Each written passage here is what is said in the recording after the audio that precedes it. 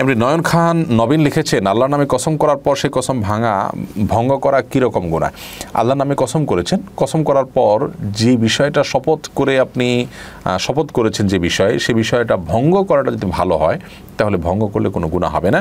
আপনি ভঙ্গ করার ফলে কাফফারা দিয়ে দিবেন। দশটি দশজন মিসকিনকে খাদ্য হয় কৃতদাস মুক্ত করবেন বা দশজন মিসকিনকে খাদ্য দিবেন অথবা তিনটি রোজা রাখবেন। এটি হলো শপথের কাফারা এটি আপনি করলে দায়মুক্ত হবেন ইনশাআল্লাহ তাআলা। তবে এর কারণে আপনার কোনো গুণা হবে না। আর যদি যে বিষয়ে আপনি শপথ করেছেন সেটি ভালো বিষয়, তাহলে সে ভালো বিষয়ে আপনি লঙ্ঘন করার কারণে আপনি গুণাগার হবেন। সেটি ভিন্ন বিষয়। এটা শপথের সাথে সম্পৃক্ত নয়। আল্লাহ নামে শপথ করলে সেটা ভাঙা যাবে না। ব্যাপারটা সেরকম নয়। যদি ভাঙাটা ভালো হয়, কল্যাণ হয়, সেটা ভাঙা যেতে পারে। তবে আল্লাহ নামে মিথ্যা শপথ করাটা হলো ভয়াবহ অপরাধ। আপনি করেন না একটা কথা, একটা মিথ্যা কথা বলছেন যে আমি করেছি, সেটা হলো গুনার কথা।